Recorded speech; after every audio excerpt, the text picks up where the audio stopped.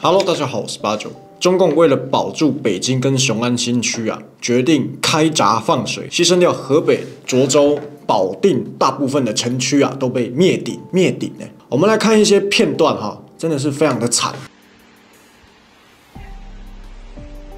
全都是水，东边的村已经看不见了，市场还有很多人。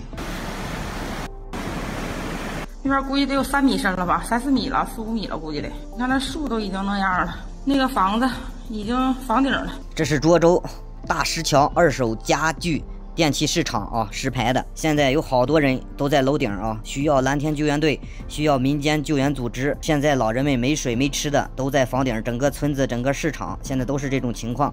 我们是涿州市桃园区大马村，现在水位已经上涨至两米多了。有那个批顶了，可以现在来救援了。我们现在我们村儿困的人太多了，现在还这个水势还在等，我们还在这儿等着呢，对吧？就是在二楼蹲着呢，是泄洪了。我们现在有十一个人上不了了，二楼被压了一半了，水已经到膝盖了。哎呀，这大水，假山都给没了。我恳请涿州市政府往那个涿州下念头村这儿派两个五零铲过来，或者咱们有附近的朋友看到的，派两个五零铲。下念头村现在有五千人，我们正在一点一点往外救。现在水越来越大，一点开始泄洪。边那冲开了没事。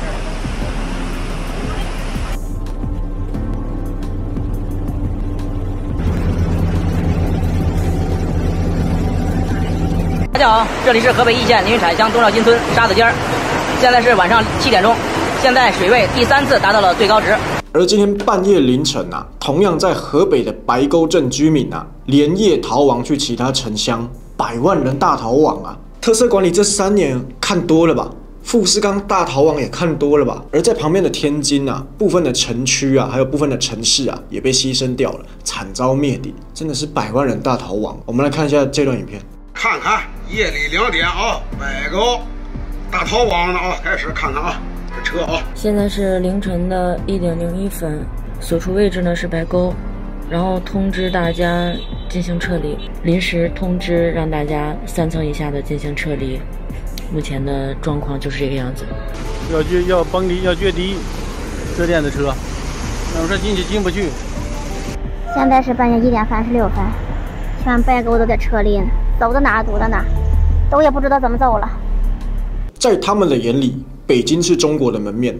雄安新区是圣上的门面，所以为了面子，可以牺牲掉河北部分人的家园，天津人部分的家园，折腾来折腾去也都没问题，家里被淹了也都没问题。再过几个月，小粉红又会在团结以党为领导的党中央，学不乖。这三年大家折腾来的还不够吗？请问折腾来折腾去，把你搬过来又搬过去，特色管理这三年这样子的形式主义，这样子的一刀切跟面子工程，你们不觉得很熟悉吗？我这个地方要清零了，怎么清零？把你转去偏乡。哎，再把你转过来，再把你调过去，不是差不多的操作，都是那个逻辑嘛？所以中共改进了吗？他改善了吗？中共学到教训了吗？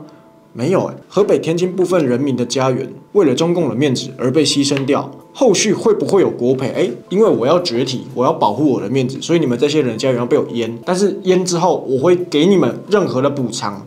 补偿之外，我还要再多贴给你，对不对？不然他们干嘛要去牺牲？请问中国中共给了你什么？你要去为了他牺牲，你拿到了什么福利？你拿到了什么好处？那请问你们每每年这样牺牲，特色管理牺牲了三年，你们又得到了什么？什么都没有，还反而通缩越来越穷。而为什么中共会在人口多的地方规划成泄洪区，然后平时也是让你们去去居住？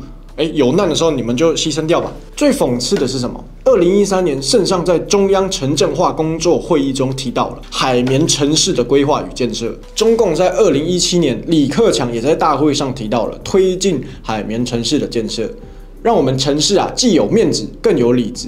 那什么是海绵城市？其实从字面上应该不难理解意思哈。这个就是让城市像一块海绵，能够应对雨水带来的灾害等方面具有良好的弹性。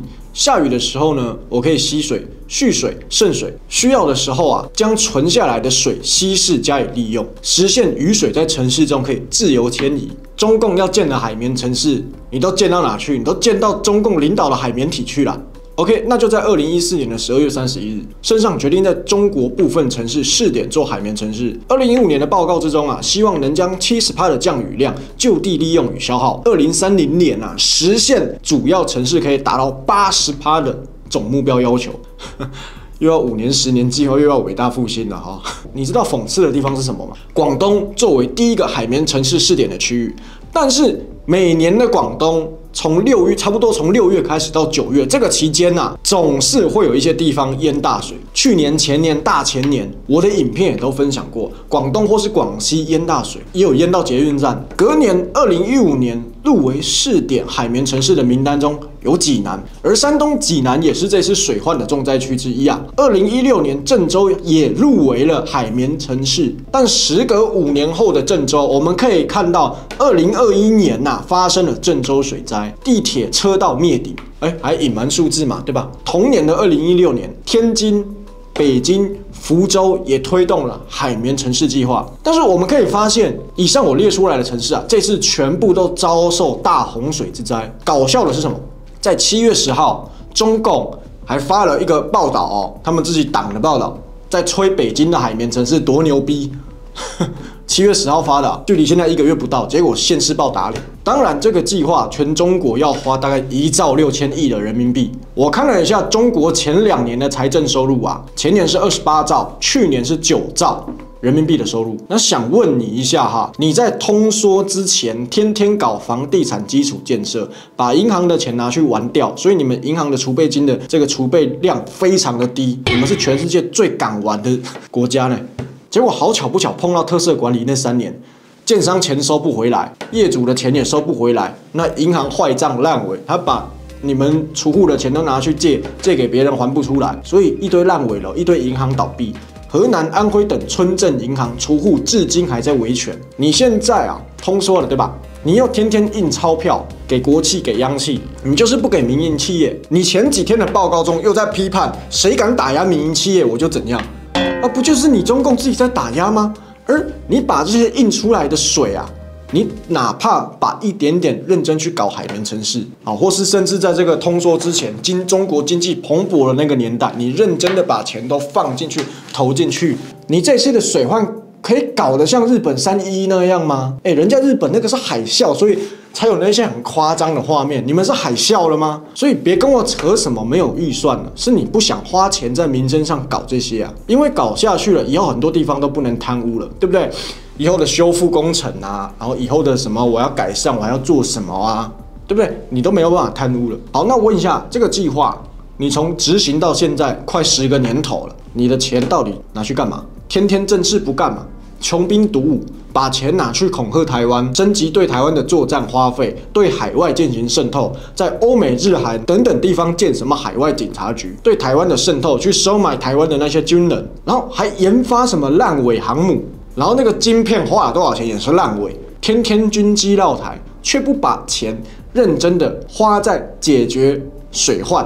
解决医保社保分配的问题，这个是绝对解决不了。中国的医疗就是有分阶级制度嘛，金卡蓝卡，对不对？那今年呢，中共还强行挪用了医保社保的钱去补贴其他的财政漏洞。你说什么收复台湾啊，全面脱贫就是笑话。全面脱贫的标准是每个月三百三十三块人民币的收入，你就脱贫了呢？那收复台湾更是痴心妄想。你却把这些列为所谓的中华民族伟大复兴，大家一起来做中国梦。对吧？你很会做梦啊！我告诉你，你把水患的问题解决了，才是所谓的中华民族伟大复兴，这才是你史上最成功的攻击。而你完成了这个，你又不会牺牲掉中国百姓，你也不会让台湾百姓陷入战火，你又完成了所谓中国史上超越大禹治水的人。你不做，人家大禹治水，你脑袋进水啊？不对，你是海绵体进水，绝题牺牲小我，完成面子工程。而中国百姓也是敢怒不敢言嘛。我们可以看到刚刚前面那个影片，我们没有看到任何一个百姓在骂。但是今天我们把这个状况换到台湾呢，换到美国呢？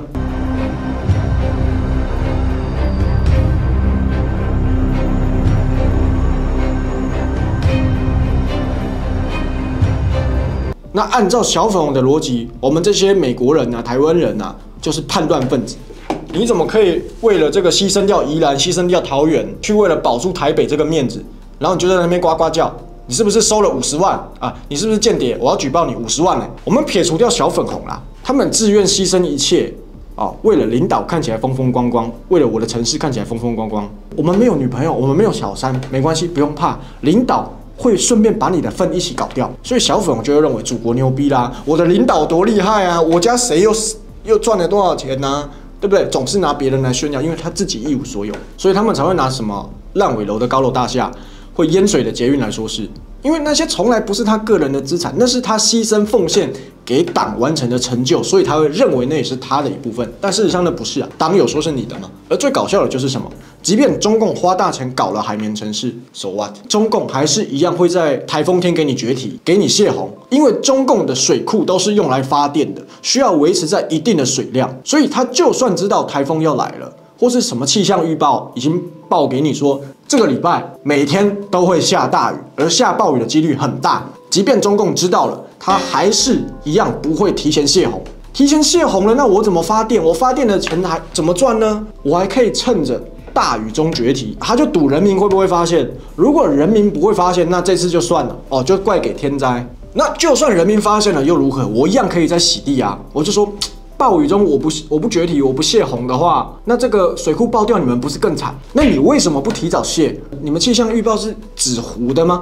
他就洗脑说哦，你们要为了国家牺牲自己啊啊，为了党奉献自己啊。那请问一下，中共你们牺牲了什么？难怪赵立坚会说中国人民就是中国共产党的铜墙铁壁。而我觉得小粉红很好笑，像我们的这个正副总统蔡英文跟赖清德都有在推特上发文表示关心这次中国的灾情，结果小粉红继续在嘲笑啊，别假好心呐、你这个汉奸卖国贼啊！你要是真的关心我们的话，你把台湾主动回归嘛，这样子叫人家怎么同情？小粉红又很好笑，你希望人家同情你的同时啊，你又在诅咒日本、诅咒韩国、诅咒台湾，又不希望我们去去骂你。虽然我们没有骂你，我们只是在嘲讽中共的政策而造成了中国百姓，但总是有人会觉得说我们在嘲笑中国人水患。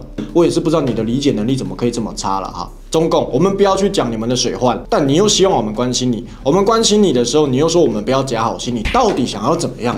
今天影片到这里结束，喜欢这个电影，我，不喜欢这个一定要把我封锁。我是八九小姐，见了拜。